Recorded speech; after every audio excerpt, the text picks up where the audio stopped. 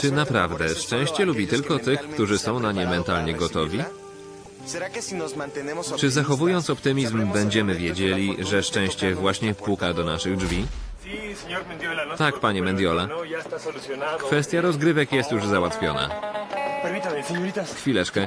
Panienki, obciągnijcie spódniczki. Wszyscy je tak noszą. Akurat.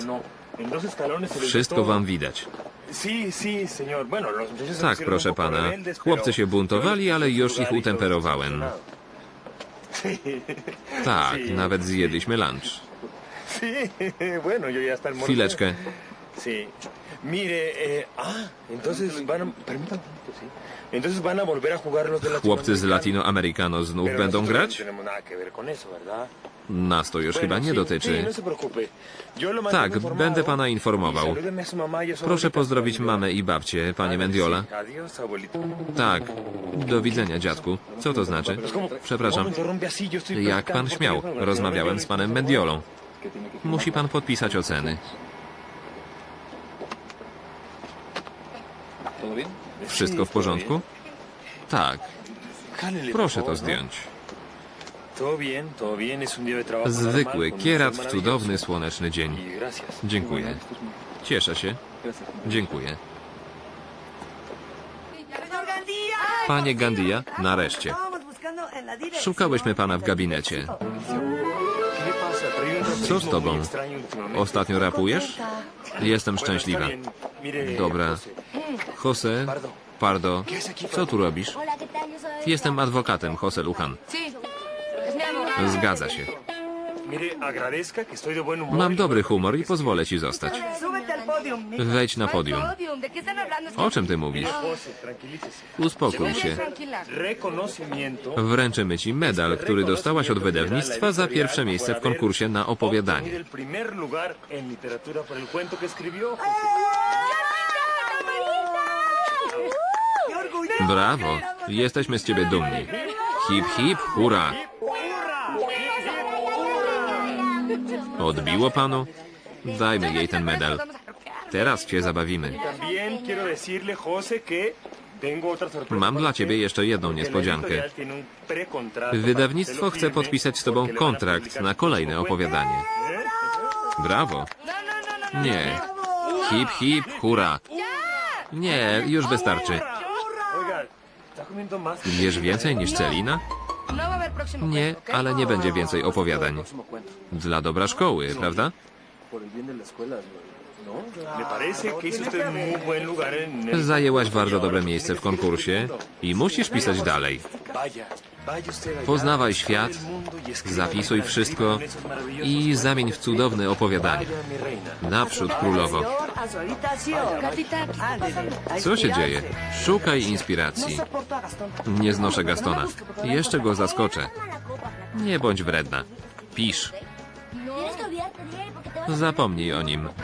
Kiedyś dostaniesz Nobla. Nie. Chodź.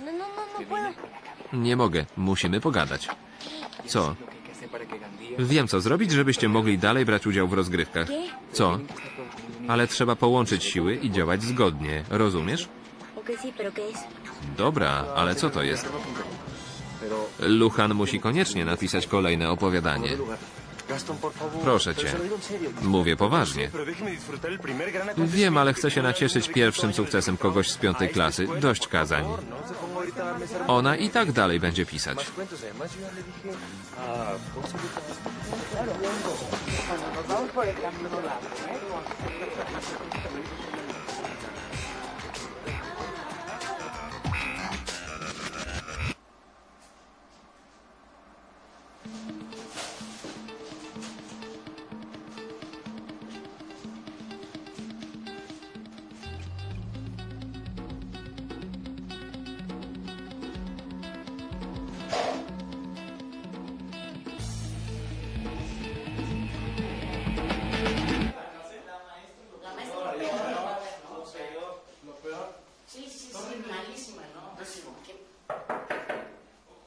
Zajęte.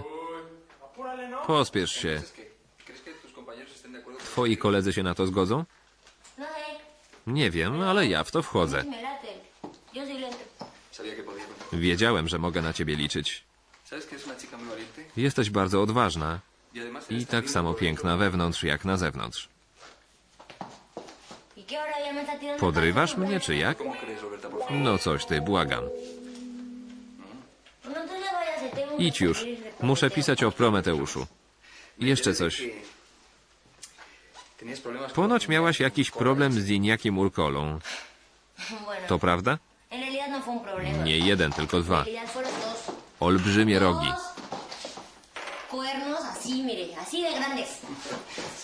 Spore. Ale twój problem nie jest taki, tylko taki. Co to? Jesteś zadowolony? Nie. ¿Cómo no? Smutno mi, ale ze względu na niego. Nie jest łatwo znaleźć taką dziewczynę jak ty. Tak głupią? Jesteś ekstrawertyczna i szczera. Nieczęsto spotyka się takie cechy. Mówię to z własnego doświadczenia. On nawet tego nie zauważył. A nawet jeśli miał to gdzieś. No, yo Jestem przekonany, że on cię kocha, no ale nie wie jak zakończyć ten drugi związek. Rozmawiałaś z nim? Nie i nie zamierzam. Czemu? Wiem, że postąpił źle, ale wierzę, że cię kocha. Wszyscy mamy czasem kłopot z podejmowaniem decyzji i rozwiązywaniem problemów. Justificando. Usprawiedliwiasz go? No, no. Nie. Mówię ci to, żebyś wiedziała, że to on ma problem, bo stracił ciebie. Cudowną dziewczynę.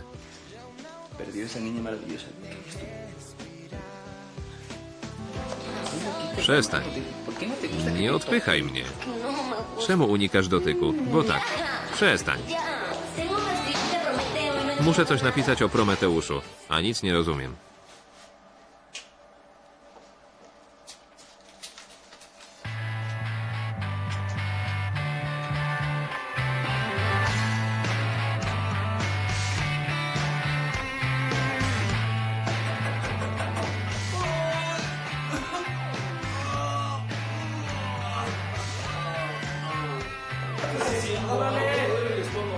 Co tam robisz? Otwieraj.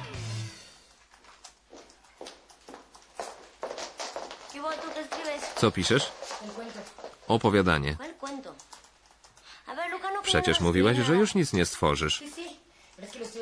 Tak, ale to przemyślałam i stwierdziłam, że dzięki temu odkryję prawdziwą tożsamość Gastona. Co ty na to? La Nie wiem, o co de chodzi. Ale powiedz mi, co się dzieje z Teo? Ostatnio bardzo dziwnie się zachowuje. no, Ja też zauważyłam, że jest strasznie spięty. Nawet jak na niego. no no. Nic nam nie mówisz, bo rzadko się widujemy. Co jest grane? Czekajcie, bo pomysł mi ucieknie.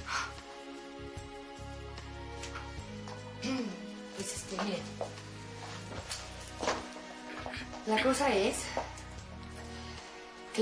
Mama Teo przeszła poważny kryzys i jest w śpiączce. Co? Tak, lekarze nie dają jej większych szans. Biedna kobieta. I biedny Teo. Jego ojciec zabiera ją do kliniki na północy i sam się tam przenosi. Co? Teo zostanie sam? Tak. Dlatego chciałam was prosić o przysługę. Jaką? Podejdźcie do niego, pogadajcie.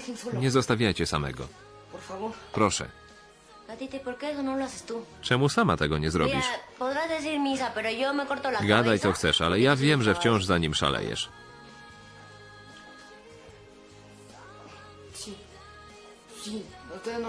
Nie wypieram się tego. Zwłaszcza przed tobą. To ¿Por qué czemu nie korzystasz z okazji? Daj mu wsparcie. Przytul, dopieść. To bez sensu, bo on ciągle mnie odtrąca. Poza tym Pogodziłam się z tym, że między nami nic już nie będzie. Dlatego proszę favor, was. No wiecie.